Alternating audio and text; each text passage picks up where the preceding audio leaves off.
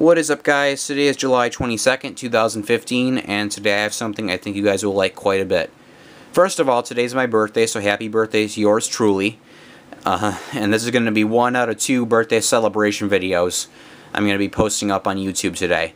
So, uh, obviously this is going to be a fire alarm test, and the, the, the reason why I'm doing a fire alarm test is because, like, first things first, it's my birthday, and, like, what a better day to test some fire alarms than on my birthday, right?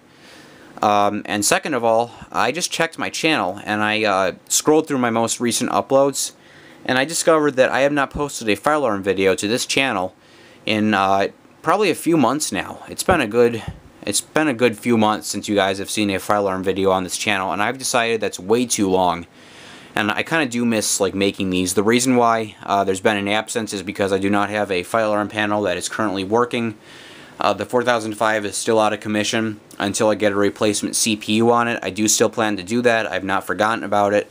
Just been pretty busy lately. Um, I do plan to get a, re a, replacement CPU on it though. No promises and no guarantees as to when that's going to happen, but I'll keep you guys updated as time moves on. Um, I do have the, uh, so everything here is being powered off with the panel batteries, which is all I've got now.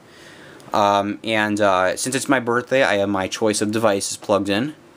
Um, now, it was pretty hard to decide between the devices. You know, these are some of my favorite devices, but there's so many other awesome devices in my collection that I could have used. I just decided to pick these out because I really couldn't decide. So, um, I've got all Simplex devices because Simplex makes my favorite uh, devices. Simplex is my favorite brand of a fire alarm, definitely. And uh, so let's go ahead and show you the setup here. Um, Everything is smart sync, so it's all going to be synced up thanks to my Simplex 4905-9938 smart sync module. Um, then for the pull station to activate, I got my Simplex 2099-9756 dual action T-bar. Not so dual action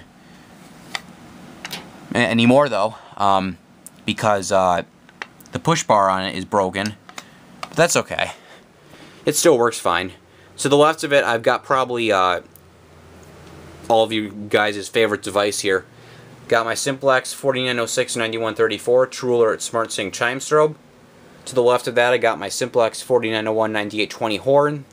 Uh, True Alert horn, this is uh, Smart Sync selectable, so it can either operate on Smart Sync or Free Run. I've got it on Smart Sync, obviously. Um, this is my Simplex 4904-9332 Smart Sync strobe only. Got two of my four Simplex True Alert speaker strobes. I've got like one of each model number. Um, this is my Simplex, this is one of my two Simplex 4906 9151 uh, Smart Sync speaker strobes. This is one of my two Simplex uh, TrueAlert 4903 9357 speaker strobes. This one is selectable so it can operate on either free run or Smart Sync. Obviously the speakers are not plugged in, just the strobes. Um, and then I got my Simplex 4904 9177 strobe, either Smart Sync or Free Run, got it on Smart Sync. So yeah, that's the setup. I'm going to go ahead and get some hearing protection on, and we're going to go ahead and get the video started. Um, so yeah, because the, the True Alert horn is extremely loud, so True Alerts are incredibly loud devices. So, sorry about that. Let's go ahead and uh, get the test started. Uh, everything's on code 3. The only two audible devices that are sounding are the chime strobe and the horn. And uh, they are both on code 3 by the sync module. So let's go ahead and do this. Three, two, one.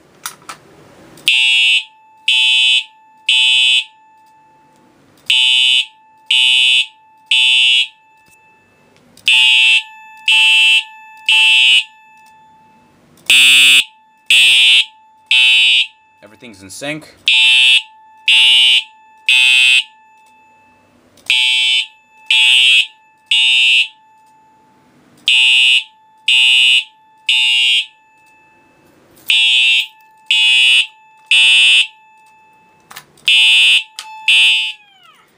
There you guys go. That was that. That was the first uh, like fire alarm test that's been on my channel in like months now probably.